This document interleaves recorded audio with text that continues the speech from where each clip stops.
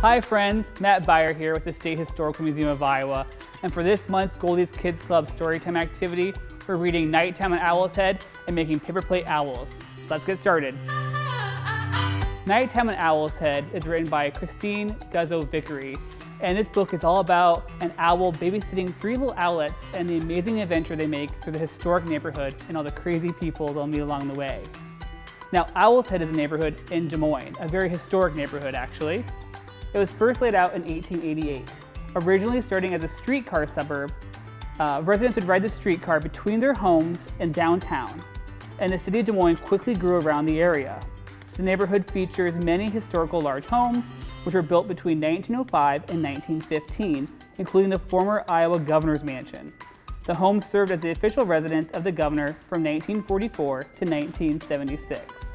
After reading the story, you'll have a fun activity with my friend Kennedy, and you'll be making paper plate owls. Hi everyone, this is Kennedy, and today we are going to be creating your own paper plate owls. For this craft, you're going to want two paper plates, construction paper with the colors brown, black, yellow, white, and you can even have red as well.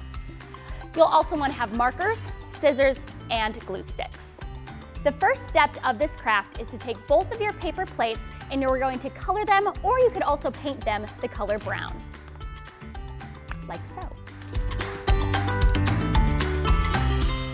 Once you have finished coloring both of your paper plates, you can go ahead and set those aside for now.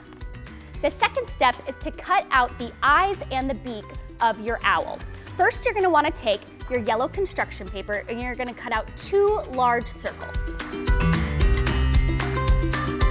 A nice tip is to layer the circle on the paper and cut it out so you have the same size.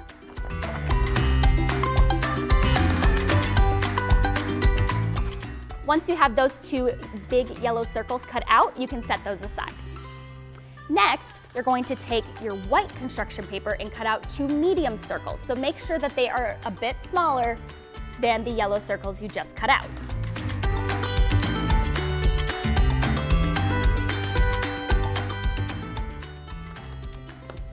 Once you have your white circles cut out, you may set those aside as well. Then you will take your black construction paper and you're gonna cut out two small circles, which will serve as the pupils for your owl's eyes.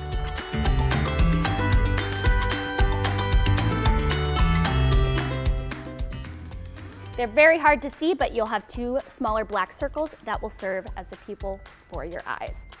Lastly, We'll take the orange construction paper and you're gonna cut out a triangle to serve as the beak.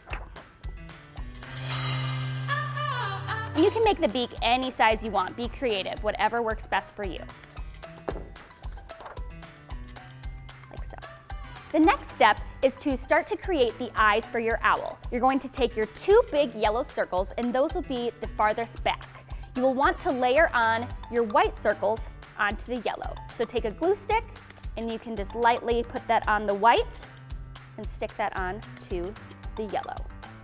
And you'll do the same step for both your eyes. And then next, you will take your two small black pupils and put those onto the white circle.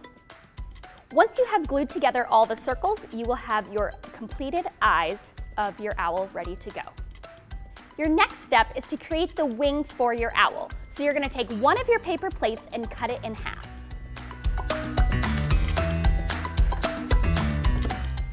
Once you have cut your paper plate in half, these will serve as the wings. So what you'll wanna do next is take your other paper plate and put it down so the back side is up, and you're going to take your wings and glue them to your other paper plate. You will wanna take each wing and just on the tip of the triangle, put some glue and then press it down onto your plate. Once you have glued your wings onto your paper plate, this will be the finished product. The last step is to glue on the eyes and the beak to your paper plate. So take one eye, put some glue on the back, and press it on to your paper plate. You will do the same with the other eye.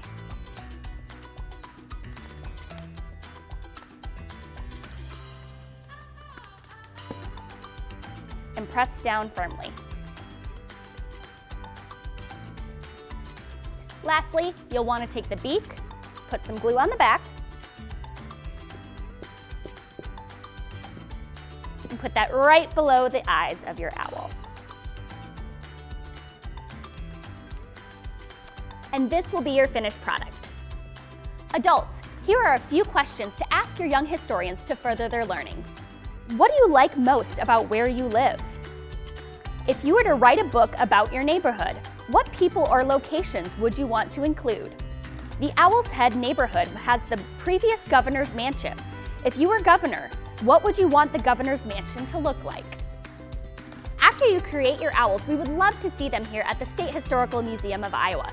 Snap a photo of your owls and send it to museum.education at iowa.gov. And for more resources and programs here at the museum, go to our website at iowaculture.gov slash Goldie.